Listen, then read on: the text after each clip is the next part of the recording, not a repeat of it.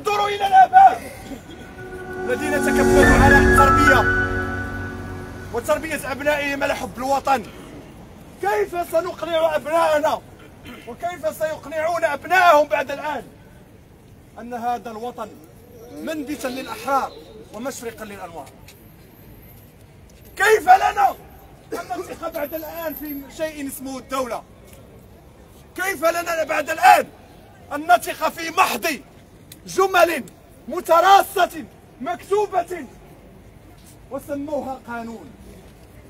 والحال أننا اكتشفنا أنه قانون يحمي الأقوياء أن هذا القانون يحمي الأقوياء يحمي الأقوياء ويجور على الضعفاء. اليوم جاءت السلطات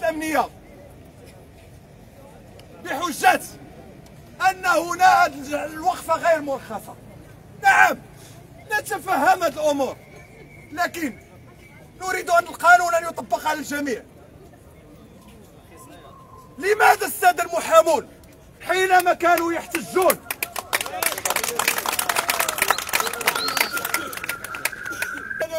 أنا مغربي أنا أنا مغربي أنا أنا مغربي أنا الهوية والسلالة الهوية والسلالة في حالة في حالة سي حالة سي حالة رضايانا بالمهزلة رضايانا بالمهزلة أنا مغربي أنا أنا مغربي أنا أنا مغربي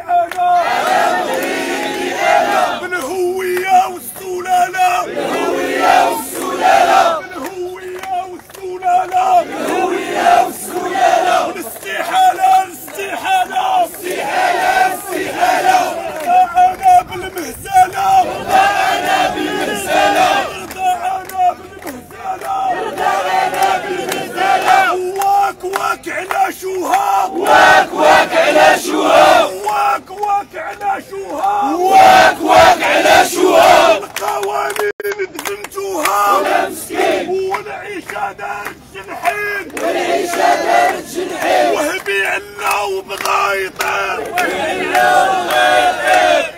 أن هذه القوانين تطبق فقط. على الضعفاء.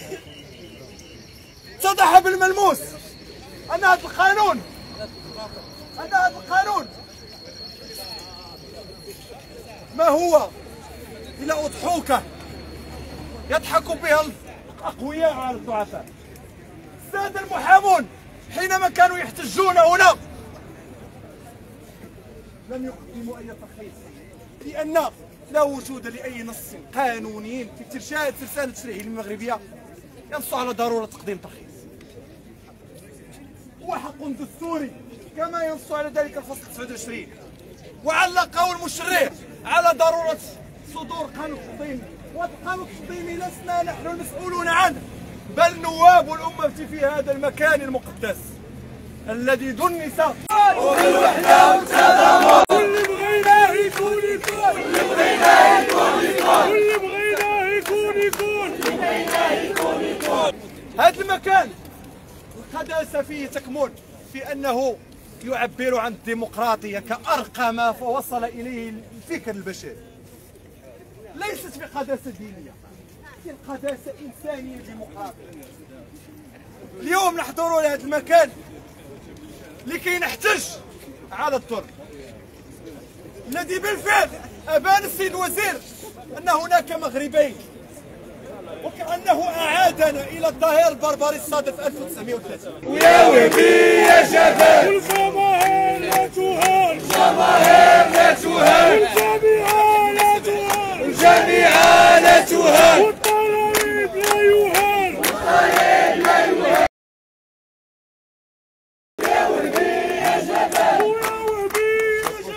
ويا وهبي يا جبل الطالب لا يهان القرارات